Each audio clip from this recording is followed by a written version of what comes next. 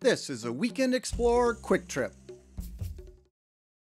Since Resurrection Bay was the closest frost free harbor to Nome during the gold rush at the turn of the 19th century, it became a supply depot.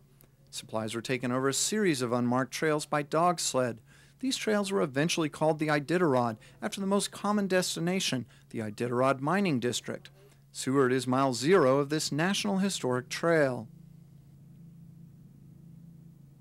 In 1973, a dog sled race was started in commemoration of this time. Young Danny is the third generation in the Seavey family to be part of this race. The family runs the cleverly named I Did a Ride, where you can be pulled by sled dogs training for the race.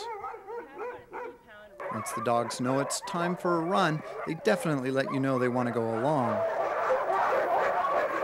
You may have expected to see Malamutes or Huskies, but those dogs are not very good at the long distance running required for the Iditarod.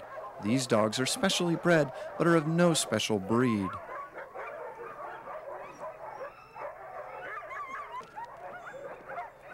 I don't know what the Seaveys eat for breakfast, but with all of that energy, I want some. These dogs are definitely not camera shy.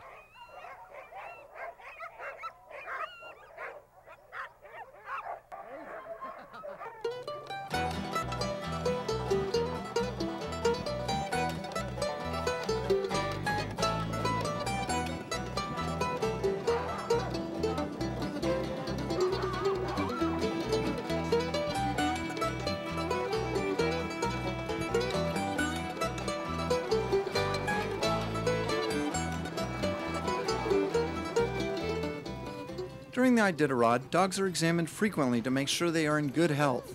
Dogs not passing this test are flown home. In 1973, the Iditarod was more of an adventure race, and the winner took 23 days to get to Nome. Today, the trail is maintained and marked, and the winners finish in less than 10 days. Even so, the Iditarod is probably the world's most grueling sporting event. Since the Iditarod is more about finesse and stamina than strength, women have taken home the gold more than once.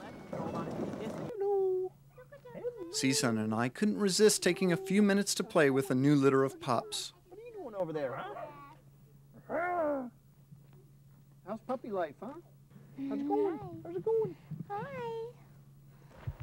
So, Danny, tell me about the clothes you wear. Okay, we're going to start with the boots here. I mean, go ahead and take your shoes off and put those guys Okay. on there. But Boy, they are thick.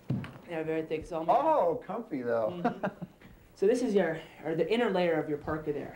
Underneath that, you'd wear just a very thin layer of polypropylene long underwear. It's all designed to wick the moisture away from your skin. If you're going to be in the same clothes for nine or ten days, it's very important that you stay dry out there. You have your outer layer, the nylon shell, which is your, your windproof and waterproof layer, just to. I'm starting to feel Alaskan. Okay, you can just buckle that up in the front there. And here's your hat there. Of course, our headlight, that's how we can see at night. Of course, we have the sponsors' names all over everything there. We have your ruff. and the fur is actually one of the warmest materials out there. We just can't use a lot of it because it's not as good with the moisture in that. Once you do get it wet, it's very hard to dry it back out again.